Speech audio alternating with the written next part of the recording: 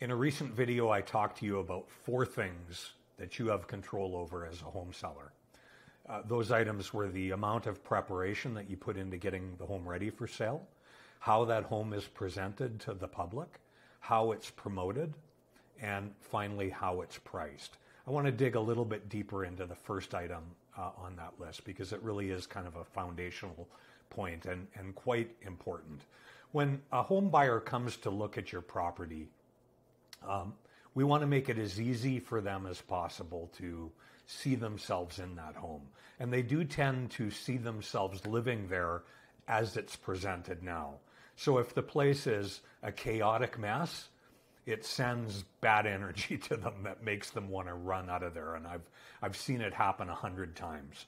So four things that you should focus on in your preparation effort. Number one, declutter. Put some shit away. Most sellers have way too much stuff in their house. You want to be thinking show home, minimalist. The less clutter, the better.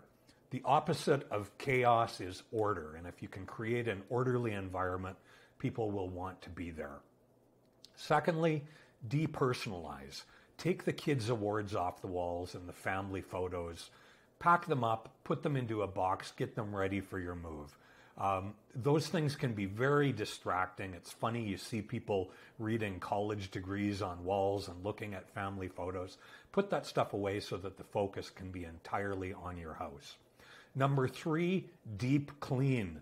This is the time to get that property as spiffy as you possibly can because frankly, people are disgusted by other people's dirt. And finally, fix stuff. There's a hundred little things in most houses that need to be repaired, and now's the time to do it. Think about this. If you don't want to do it, what makes you think that a buyer wants to buy those problems? Fix them up.